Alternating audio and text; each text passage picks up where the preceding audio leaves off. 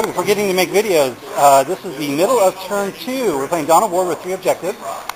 I'm playing Ork. All good. Um, see what happened here. There, playing moving Russes. Um, on his first turn of shooting, he took out one Nob Biker and one Ork. On my first turn of shooting, I took out a Leman Russ because I got side and side shots with a Lootas. Mobilized one Chimera, shook another Chimera. And I guess the Meltagun's going to come out and say hi. Um, everyone else move forward. Uh, these are here to stop some outflanking uh, sentinels if they come that direction. And so that's it, which is uh, starting the bottom of turn two. So here we are, bottom of two. A whole lot of shooting at the turbo boosted bikes resulting in two dead guys and another wound on the war boss, so he's got two, one left. Um, this squad lost five guys, and that squad lost like five or six guys. Uh, cans moved up. And so we're going on to turn three.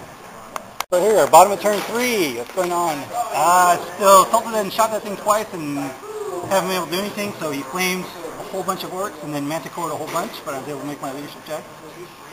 Um, thanks to the boss pole. Uh, these guys came on and assaulted the grots and got them in sweeping advance.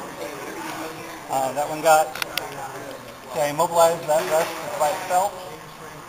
Over here, um, I blew up one tank, wrecked another.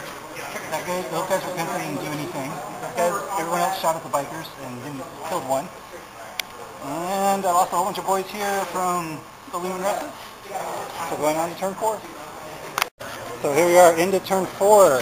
And uh, yeah, uh, good shooting. You got this squad down to three guys, including the mech got killed the uh, Manticore. Um, they killed the war boss there on his last room because I killed two feel no pain saves. Um, those guys wiped out the grots, and they're hiding there.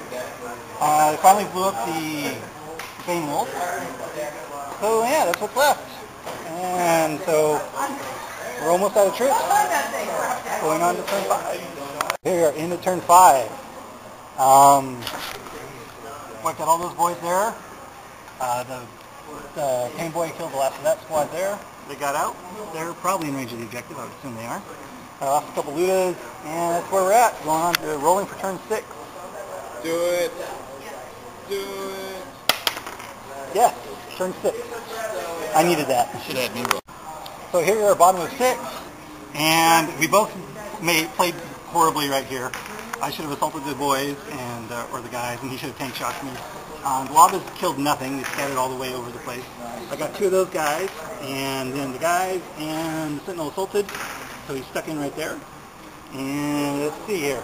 And the cans blew up all the Leman Russes. So yeah, now I'm going to roll for turn seven. You want to roll it this time? Oh, doing turn seven.